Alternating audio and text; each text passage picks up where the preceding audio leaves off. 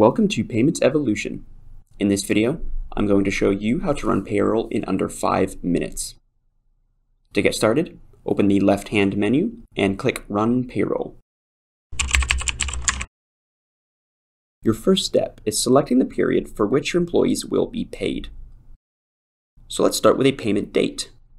Typically, you want to choose the last day of the pay period. Then select your pay cycle here I'm going with the common biweekly option. And finally, your date range. Since I've chosen biweekly, this is a two-week period. Click Submit, and we will move on to managing your employees' earnings. Here you will find your salaried employees. Now, let's select the employees you want to pay. You can approve them individually, or select them all like this. But before moving on, let's add an additional earning. From here, you can select the earnings type. This is a customizable list of additional earnings. I'm going to choose a bonus and give this employee a fixed amount. Then save and approve your additions by clicking here and here. Take a look at the amount you've approved and click Next.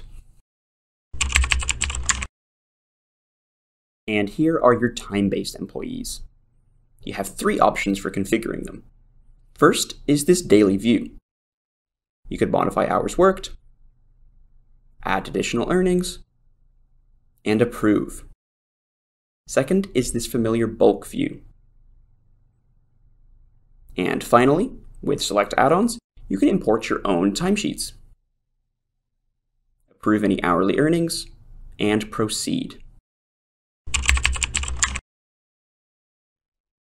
Now the software is going to calculate your earnings. You'll be asked if you'd like to use company defaults or custom payroll calculations. Your company defaults are the pay rules you've selected.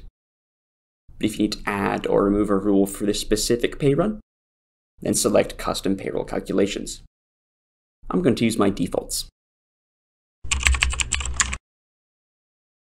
Here you can review your approved payments. There's your employee's gross pay, the deductions, and then their net pay. You can also download this information as a PDF or export to a spreadsheet. When you're satisfied, click Next. It's time to finalize your payroll. First, confirm your payment date from earlier, then your employee payments. And once you're happy with the totals, click Finish. And there's your payroll complete. It's that easy.